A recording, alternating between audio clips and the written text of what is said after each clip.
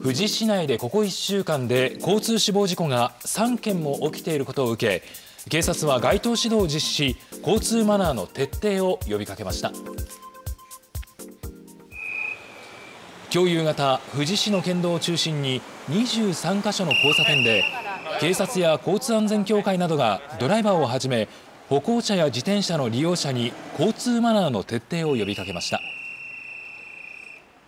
富士市ではここ1週間で3件の死亡事故が起きていてこのうち2件は歩行者が被害に遭う事故でした。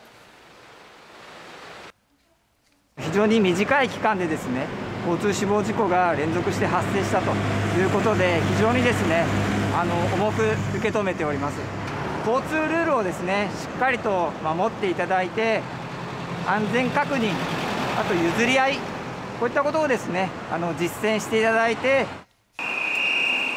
警察によりますと県内では今年に入って交通事故で亡くなる人が昨日時点で95人で去年の同じ時期より15人多くなっています。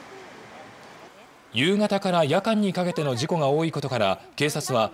早めのヘッドライトの点灯や反射材の着用など交通安全の注意を呼びかけています。